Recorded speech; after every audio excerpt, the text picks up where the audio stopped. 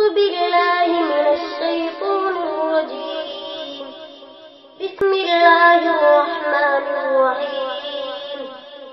محمد رسول الله.